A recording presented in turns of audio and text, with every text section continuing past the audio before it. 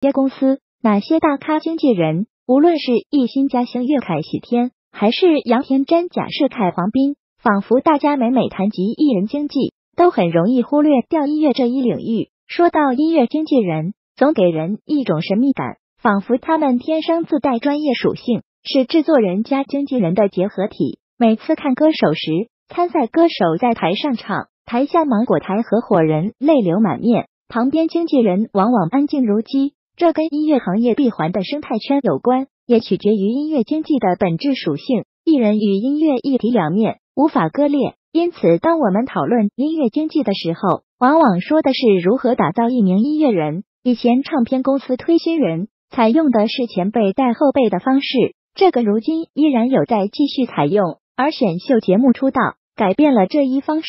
唱片公司发现，可能这个人一首自己的原创都没有，但已经有人气了，那就把他签下来。慢慢的，大家都愿意省时省力，倾斜于选秀节目出来的人。最近我去找一位签下选秀歌手的经纪人，他办公室里都是很多人捧着钱来找他谈合作的。一位业内人士感叹，随着平台方的更迭，如今做新人的模式。大致分成了三大派系：一是传统唱片公司推新人；二是从选秀节目走出来的优秀选手，本身自带人气，也会引发争抢；第三种则是独立音乐人以草根身份亮相，借助各大音乐平台隆起。这样的独立音乐人有作品，自发积累人气，再和唱片公司强强联合。例如好妹妹、谢春花。当音乐市场从谷底复苏。如何打造往生时代的新音乐人？歌手人设怎么包装？要不要包装？投入的资金和资源怎么分配？明星资本论走访了几位业内人士，深度聊了聊中国音乐经济现状。新人就是摇钱树，浇水要浇到点子上。传统唱片公司代表流水机新意思音乐旗下艺人李庆山，我有着多年从事传统唱片公司的经历，作为最传统渠道推出的新人，从企划。制作方面就要把内容掌控好，比如李庆詹，我衡量新人的标准主要有两方面：第一是硬件要达标，首先你要有好的潜力，无论是创作才华、外形还是才艺，让公司能看重并且愿意去包装打造；第二是软件及综合素质，综合素质有时候更重要，你有没有上进的事业心，并且愿意付出行动，能否和团队好好配合？其实硬件大家都不差。软件才能决定你能否走得更远。我现在就是秉持着新人就是摇钱树的理念做事，不过现在要研究的东西太多了。现在艺人和草根网红之间的差距越来越小。之前做李沁斋的时候，我也会想，在优势没有那么突出的情况下，给他做恐怖概念的 MV 企划，就是为了吸引更多关注。不过正好赶上年底，本来给他定的物料尺度，我还是有信心的。当时发第一波主打物料没什么问题，等到发整张专辑时，各大平台就给我们打电话说，banner 图都不能用恐怖元素的了。不过还好，我们提前准备了另一组小清新的物料，替换上了。目前如果不发实体唱片，其实音乐发行指的就是线上各大音乐平台的发布。我们在各大平台上架是免费的，你也可以选择是否做数字专辑、付费专辑。但新人刚出来，肯定没有和平台谈条件的资本。新人就是为了一个推广传播的作用，你在这块还是要花钱的。各大音乐平台就那么几个，推荐位也就那么几个，如何让新人在平台上产生曝光？公关费必须得出，公司给新人投钱，预算不会太高，因为要考虑投入产出比以及对这个新人价值的判断。一开始你也不可能奢望会有太多。毕竟和当时做实体唱片的时代是有很大差距的。按我以前做唱片的经验，企划加制作属于内容，宣传和发行属于推广，两者的资金比例一半一半是比较合理的。但李沁詹的话，可能在宣发上的钱比较少，这也是公司的考量。宣传是个无底洞，你可以一直花钱，但像我们属于传统型音乐公司，不会花太多宣发的钱在新人身上。传统唱片公司这边能做好的就是内容和宣发，但做这些现在对新人够不够？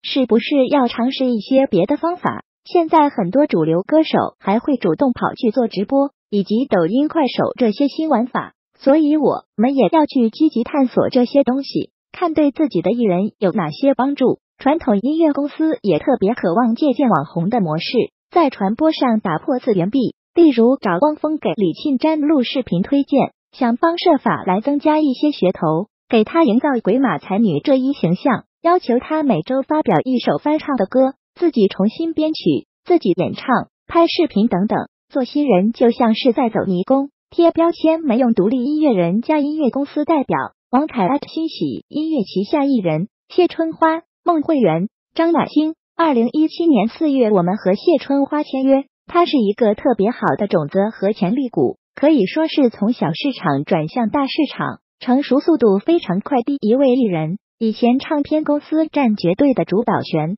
歌手必须要签全约或者长约。但如今时代变了，像谢春花这种，他来掌握自己的制作和版权，欣喜帮他提供宣发服务，比如把海外独家版权给接生。登上简单生活节主舞台，大家优势互补，双方都有更多的选择权和自主权。现在除了谢春花之外，我们公司还签了孟慧圆、张婉清，但每个独立音乐人都具有不可替代性。谢春花的模式没办法复制到这两位女生身上，用同样模式去打造不同的艺人，会造成巨大偏差。对独立音乐人来说，他们其实自带强烈的个人特点，能从创作里看出端倪。我觉得九零后更善于表达自己对世界、对生活的看法，而经纪公司要做的最重要的事，就是通过渠道和能力，摘取他们个人特点里适合放大的部分，扩大他们的商业机会。对于人设或者标签，我个人不主张，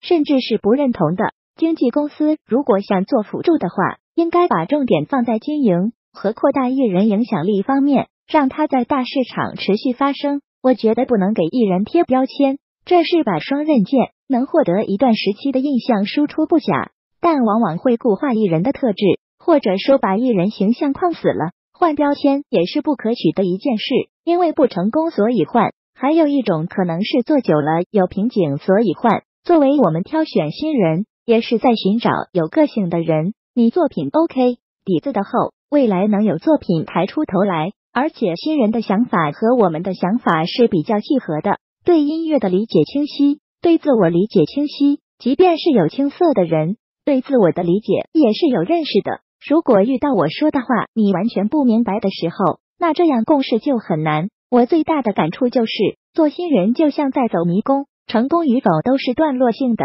什么叫做阶段性的成功？就是我在这一阶段没有走进死胡同，但是没有人能走出迷宫。因为它一直在变化，真的是这样的。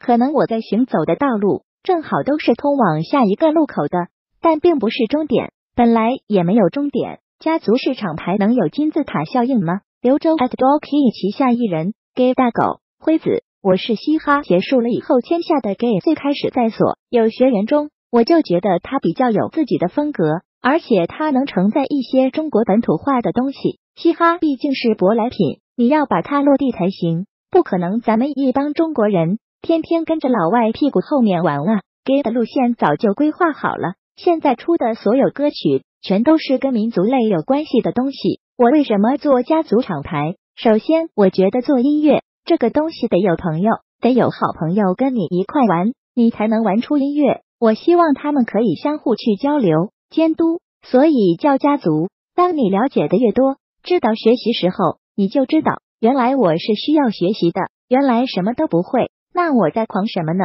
关于签新人，hip hop 我会优先考虑，因为现在是在做这个公司，做成熟艺人和新人是两种定位。有一些艺人已经很多年了，他需要突破自己，需要去转型；还有一种是素人定位，不止给还有大狗、辉子这些，我给他们定位了，也给他们配了独立的编曲和音乐人。我只负责告诉他们定位走哪个方向，什么样的音乐体系。我对艺人不是放养式，只是对艺人的个人空间比较大。团队如果要经营一个好的艺人，那团队是不能轻易换的。最重要的环节是资方统筹。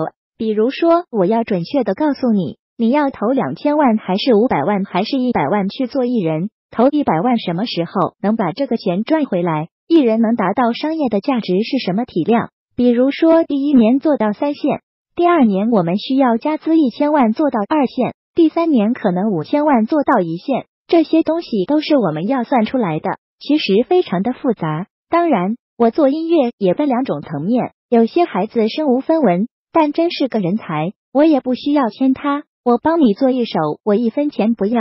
录音棚费我还帮他出。